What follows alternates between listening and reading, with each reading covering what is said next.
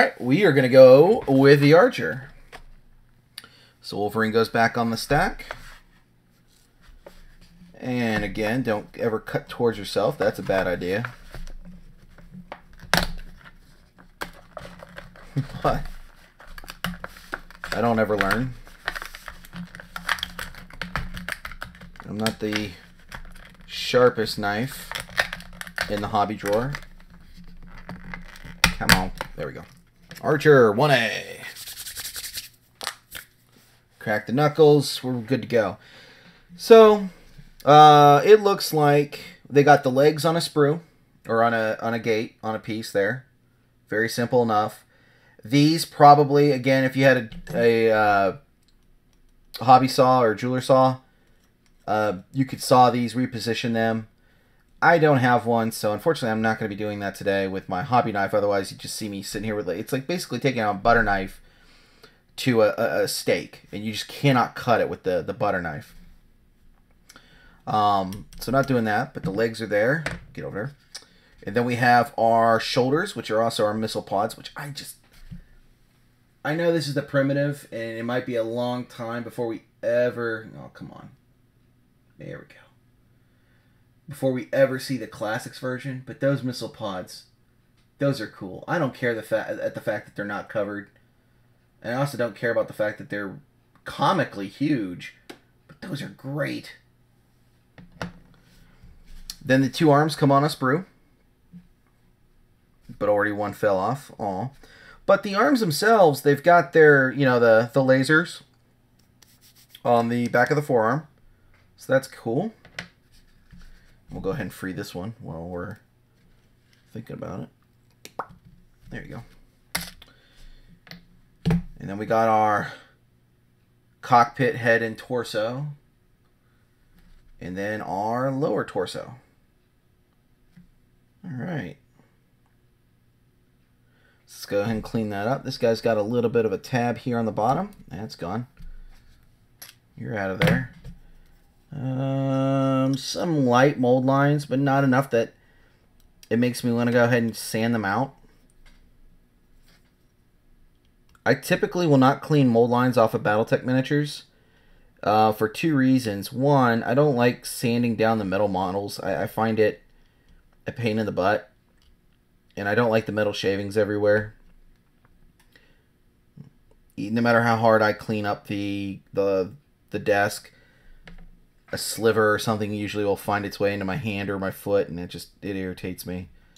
But also the the, the scale is just so small, it's easy to write it off as that's just paneling. You know, I mean, these things are giant robots. It makes sense that there would be paneling and all that. I mean, if it's an obvious mold line, you know, obvious mold line is obvious, then yeah, I'll try to clean it up. But uh, like I just try to do on the front there, just by rubbing that, that hobby knife to lessen the effect. Because if I end up doing a wash on these guys, that's going to pop on there, and that's going to be distracting.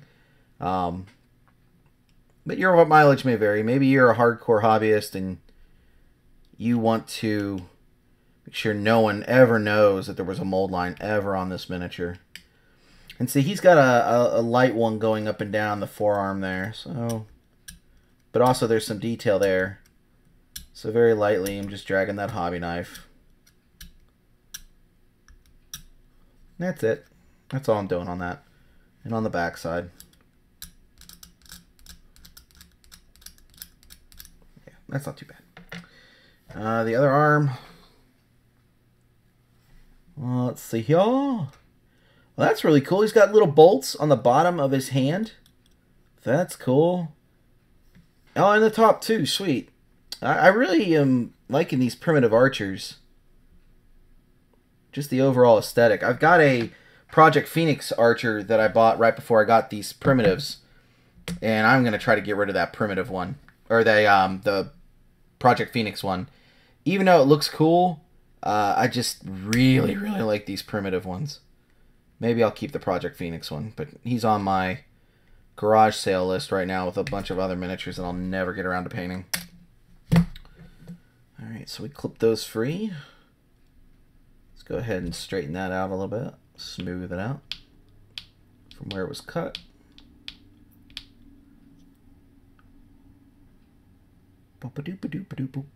I'm not noticing a lot of flash on this. That That's a good sign. That's a quality casting. Good on you, Iron Wind. Good on you. And see this? There's a mold line that goes from top here straight down. I'm actually going to leave that there because it looks like paneling. And it's on the back too, but I like it. I think it adds extra detail. Not worried about it. If anybody ever questions me on it, be like, hey, it's my model. So now we get to assemble him. He's going to be a lot more involved. And then dry fitting the hip here. I do get some flexibility with how I want to pose the legs. He could be walking. Um, walking. Could be walking like that. It's kind of cool, kind of generic, but thundering ahead. Um, I don't know if anyone's seen the old classic art. Um, I believe it was off of City Tech of the the white and brown snow camo um, Drac Archer just barreling through the city. Um, that that's that that kind of what's what reminds me of having him like stepping forward like that. We could do that. Um, I had thought about for the archers because I was going to do some level of customization for them for their bases and repositioning of their arms and hands if I could. Their hands are hollow a little bit. And it's possible, and I'm not going to do it on this first one, but the next one I probably will, is I think I could drill right there, separate the thumb and the forefinger, and then once that I have that opening, is pry them apart a little bit. And you're going, why would you do this? Well, I have if I can find it. There it is. I have some Plasticard I-beams. And so what I want to do is have these archers kind of like going through like city terrain rubble. You know, because obviously these guys lay siege to things. They just launch their LRMs and they just stay behind the front line. And then as they're walking through the devastation, they continue to fire and give cover as the army advances, right? Or the rest of the lances or company, whatever, advance. So I was thinking maybe an improvised weapon in one of the hands. Not that they would actually do anything functionally in the game, but visually, I think it'd look cool if he's just holding on to his giant piece of flipping I beam that's like, get near me, I'll hit hit you like with a like a bat. Um, not this one, but the next one I think I'm gonna try that with. Or we could try it with this one. You know what? Screw it. Let's do it. Um, it does look like the either hand would be okay for it. They have the same amount of um, width there. So I got to be very careful here.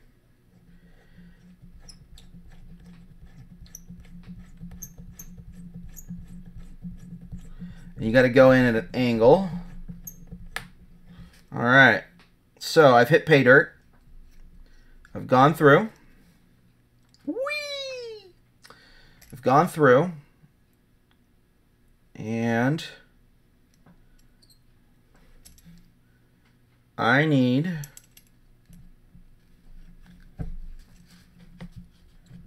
to just start trying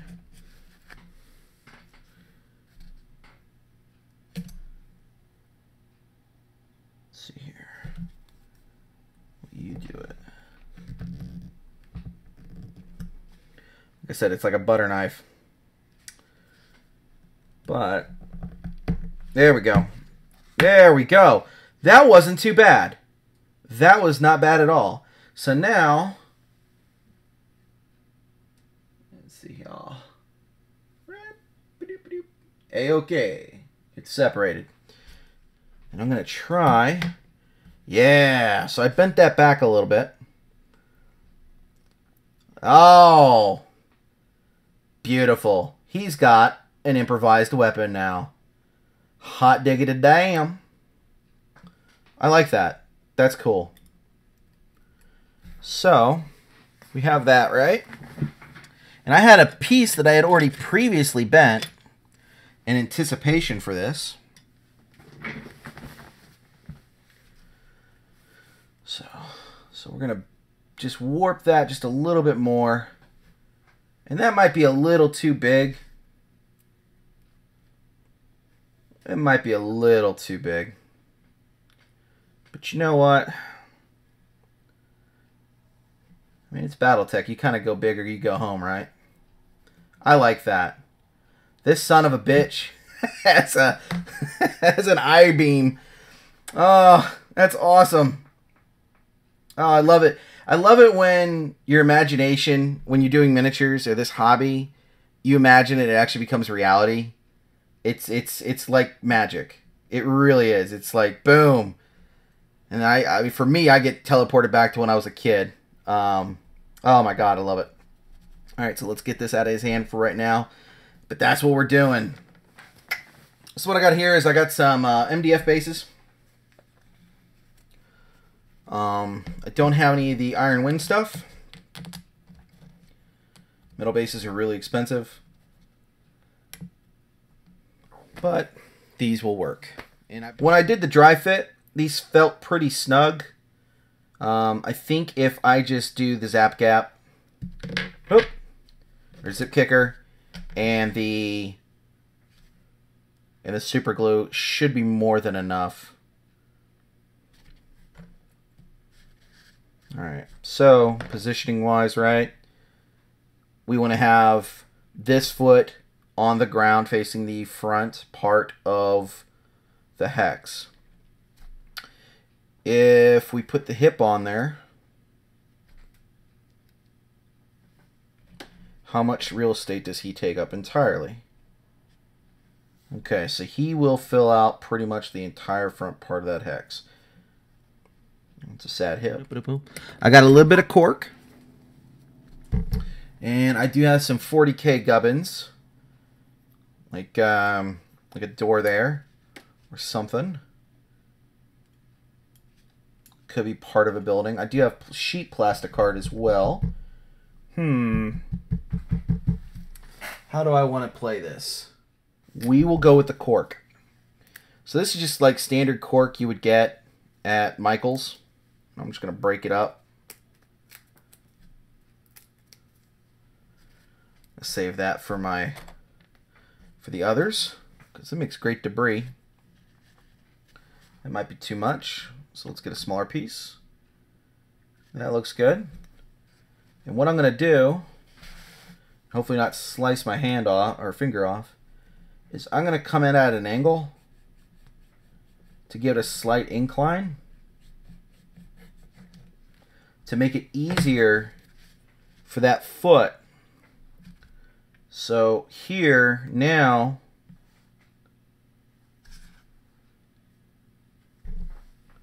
you guys can see that.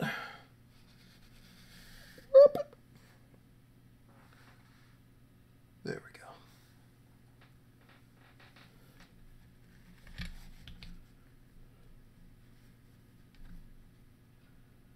That actually,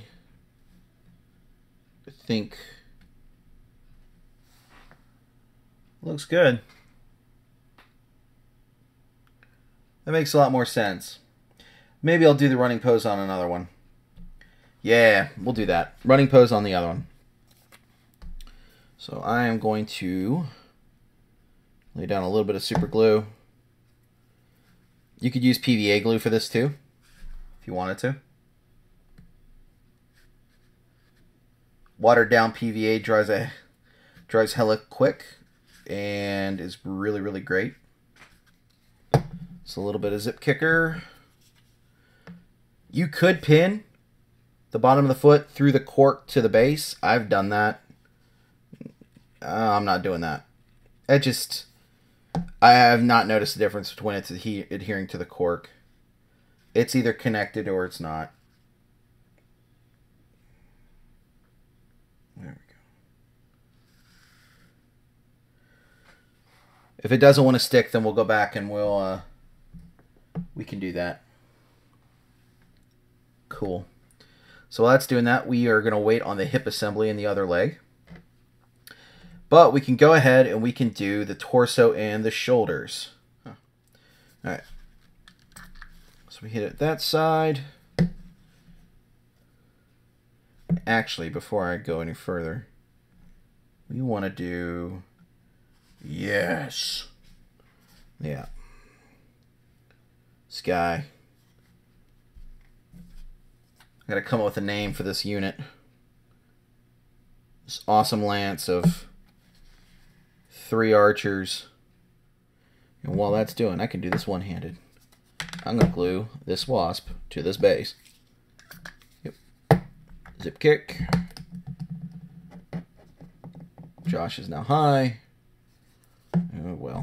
Maybe not. Let's get creative. Yeah.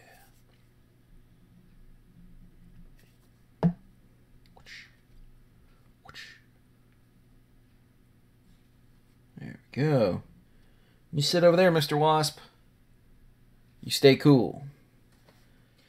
I don't want to struggle with the hand putting that on there while it's glued on there, on his shoulder, just on the off chance that I ruin the seal and it pops right off. So, with that with that thought in mind, I'm just going to go ahead and pre-glue the bar into his hand. And I've got the indention here where I forced it in. Yes. So, I mean, this was a major support beam, I guess. So, we can chip it up a little bit. He, I mean, he is just, this archer's a madman. He's just, just a madman. He's out for blood. He doesn't care. He just wants to hit somebody with a stick.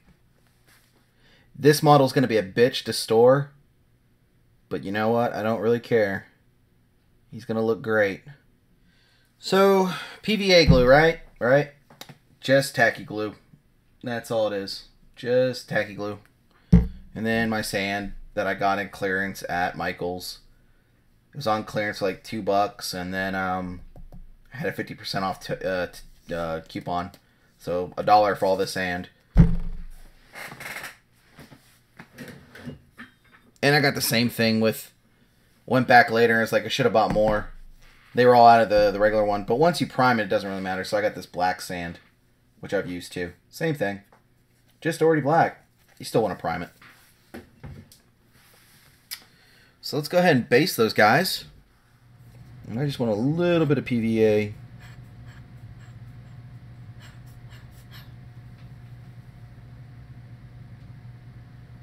Just a little bit. There we go. Boop. Little dab of D. And I want use this water.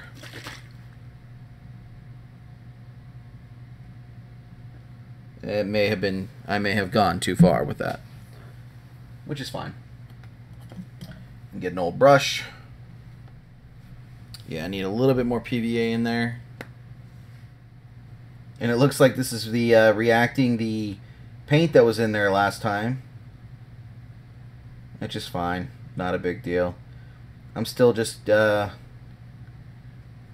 Yeah, here we go. And I'm going to put our mixture here all along the base. You can go super thick with it, depending on the consistency that you have it. You definitely want to wipe it off the edges of the hex or any base that you use if you have never done this technique of flocking. Sometimes you just use like static grass or paint the base green or whatever, or even the GW texture paints or even other texture paints. Yeah, and I want some of that over that stuff there. Yeah. Careful not to get it on the mech itself. And this is also a nice way that you can cover gaps um, in your terrain that you built on the base. Wash my brush. Nope. Well, there goes that lid. Alright, and I am just putting him right there in the sand. Mixing it around. Carefully doesn't hit the, the sides there. Give him a pat.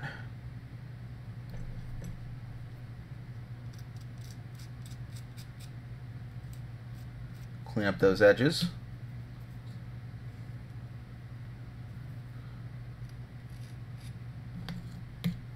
Well, goes right back in. And voila!